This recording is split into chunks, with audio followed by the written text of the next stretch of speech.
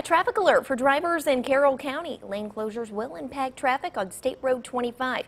Take a look here at your screen. Starting tomorrow, lane closures will be in place between US 421 and State Road 218. According to the Indiana Department of Transportation, crews will be replacing a concrete panel and updating a box culvert. Lane closures will alternate, but one lane will remain open in each direction throughout the project, and work is expected to wrap up in mid-July.